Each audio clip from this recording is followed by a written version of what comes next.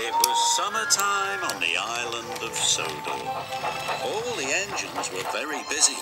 They carried freight and passengers up and down the lines.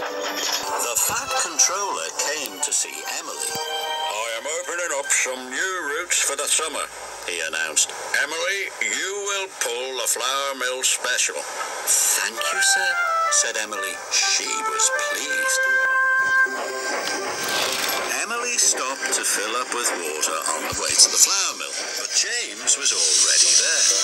The Fat Controller has given me the flour mill special, said Emily. You're lucky, James huffed. I have to do the Black Loch run. Why don't you like going to Black Loch? asked Emily. There are boulders all over the tracks, he moaned. They bash your buffers and scratch your paint. And there's the Black Loch Monster. What's the Black Loch Monster? Nobody knows, said James. Black figures move in the water, then disappear. And he puffed away.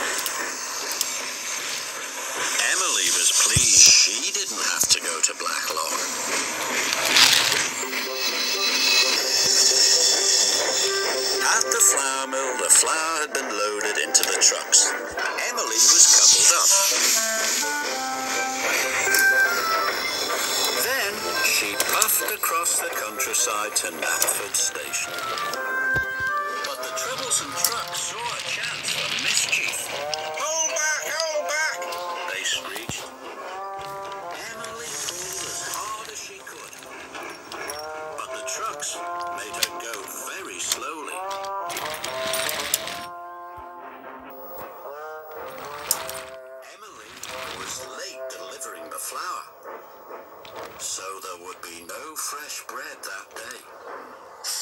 Fat controller was cross. This means I won't have any toast or crumpets for breakfast. If you are late again, you will have to do the Black Loch run instead of James. Emily didn't want to have her buffers bashed by boulders, and she didn't want to see that Black Loch monster. I must get the fleur to the station on time, Emily puffed.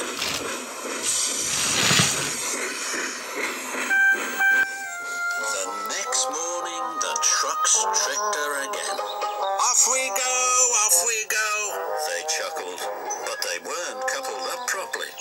Mustn't be late, mustn't be late, they giggled. So Emily puffed quickly away. But only half of the trucks went with her.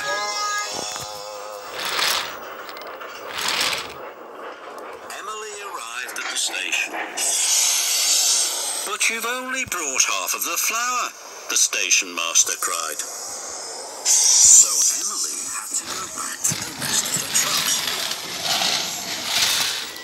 Oh no, Emily cried. I don't want to get the Black Loch run. When Emily arrived at the mill, the trucks were more troublesome than ever. Emily the late engine, Emily the late engine, they sang. This made Emily very cross.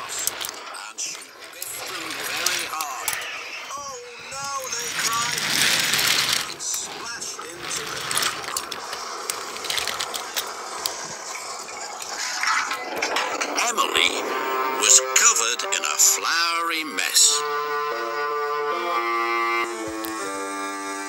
That evening, the Fat Controller came to see Emily.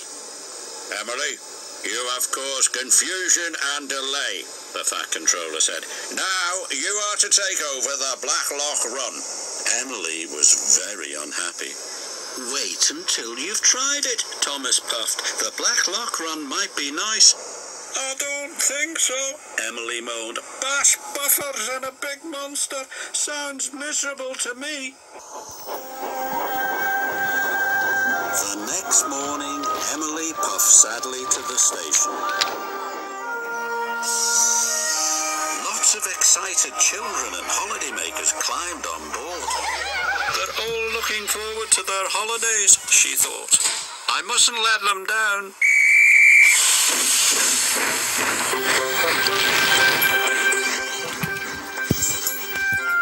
Soon Emily was steaming up hills and through valleys. I bet it won't last, she said to herself.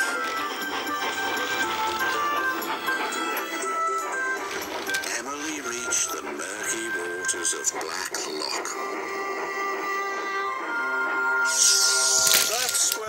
The monster's supposed to be, she puffed nervously. Then there was trouble. Rocks fell and blocked the line. Emily had to wait for help. I knew I wouldn't like this route, she huffed. Suddenly she saw something dark and mysterious moving in the water. Another monster's coming, Emily gasped. Emily was scared. Her boiler quivered and her valves rattled. She wanted to steam away. I never want to see Black Loch again, she cried. But Emily thought of the children in the carriages behind her. She was determined to get them to the holiday, whatever it took. At last, the water settled, and Emily saw what the monster really was. It's a family of seals. Emily was delighted. The children were delighted too. Soon, the line was clear. Emily steamed on through the countryside. The children would reach their holiday